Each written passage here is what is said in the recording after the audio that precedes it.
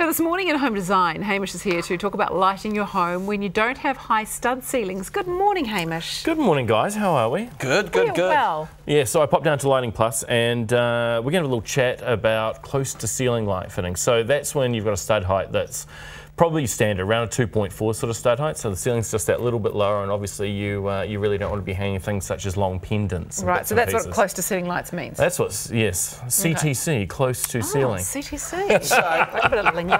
But the good thing is with you, Hamish, you always come with plenty of options. Even if we don't understand what you're talking about, we do now. So what have you got for us? Okay, first of all, we're going to look at some pictures, and um, these are going to be of just some examples. This is what a close um, close to ceiling light is. Okay. Okay, we just got to wait for the little zoomy zoom there. Okay, so that sort of thing. Got That's it. the kind of traditional sort of close to ceiling light that you Oh, see right, in so houses. it's close okay? to the ceiling. CTC. yes, it is close to the ceiling, Mike. I mean, so you, you know, obviously these are the sorts of things for um, you know uh, in, in bedrooms and bits and pieces Right. where you don't want long pendants. No, uh, you're just or, gonna um, whack into them in living time. Mm. areas and bits and pieces. Because you know a lot of places have batten holders and then people end up swapping them out for. Uh, you know, either a ceiling batten or a close to ceiling light. So we're going to run through some options. I know, and I guess it's important because you don't want to have a low light, otherwise people will keep hitting it. You walk into it. That's No, right. I don't have that problem because I'm a bit yeah, short. probably not you, Mike. I mean, yeah, yeah. There are other things too, of course. So um, if you do have a lower stud height in your house and you start putting hanging lights in and large things, it's going to make the room feel smaller. So you want to have something that's up higher to give you a bit more centre space. Right, so options. Okay, options. Okay, first one we're going to have a look at here is the Candace range. Okay, so these are effectively fabric shades with a diffuser. They've got three lamps inside them. So the idea behind that is that it gives you a nice soft tone of light that sits across the room.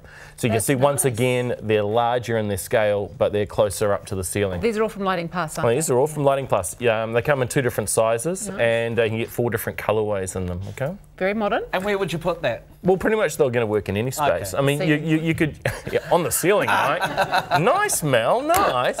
Well, it's me who cops the flat. no, I mean they're going to be great in bedrooms. I mean, you could have one above your dining room area if you want, particularly if you're one of those people who maybe has a smaller dining room area. You tend to move the table away for entertaining and stuff, so people then don't walk around and go, oh, light and duck around. Yeah, there's plenty of options for it. And what I like too, it's a great way to add colour to your room if perhaps you've got like white walls. That's exactly right. It is a way of bringing colour into the room. Okay, great. Now, the last few lights you've shown us must be installed by a registered electrician, I'm agreeing. Yes, Yes. that is that is Can't true. put them up myself. No, no, no Mike Electrical coming around and popping up and doing things, but there are DIY options. Okay, cool. So we're going to have a quick look at those now. Sweet. What have you got to show us? Okay, uh, right. So they are of a crystal sort of pendant idea, but what they basically do is they go up and you fit them out like a shade, effectively, over the top of like your batten holders and stuff. So these you can put up yourself. That one there is my favourite of the bunch. It is the Bloom. Wow. And it's nice. It gives you a little bit of sophistication, a little bit of elegance to the room if you're after that. That is really pretty. So those ones must be quite good, reflecting the light really beautifully. Yeah, they will. I mean, anything like that that's going to have sort of that crystal style glass and bits and pieces or stuff, it's, it's, it's going to project the light out through the room and give you some nice sort of tones in the room too, because it's, it's sort of more indirect. So where would you use those? Would you, you know, bedrooms? Well, yeah, I mean, you could use them in your bedroom if you desire. I mean, I, Mel likes I, your bedroom class. I mean, if, if you've got some older homes and bits and pieces, and they've got uh, you know um, additions out the back which might have a lower stud height, you can then tie that sort of more classic look through if you want. Um, I've seen them used in hallways, bedrooms. Uh, you could use them in a lounge. You could use maybe four of them or three of them running in a in a row through the lounge. Fancy toilet, you never know. Yeah, oh, true. And a little bit fancy of toilets. sophistication, you know, which Yeah, I it's a bit like. more sophistication. Okay, what else have you got to show? Okay, so the next range, um, okay, these uh, these ones you need an electrician for. Okay, these this is a, a is more of a crystal glass range, many different types. So this one here is the Vanessa. It's gone a little bit. There's the Vanessa again. I like it. It reminds me of an upside down jelly mold. Oh, yeah, Oh, it does. true. Yeah, righto. This one here is the Odessa. You know, it's got a little bit more blingy, maybe a little bit more Russian, larger crystals, a little bit more fancy. Um, uh, these pretty much are my favourite, but there are a lot of different styles they make. So pretty much there's something for everybody out there and for every sort of setting you want.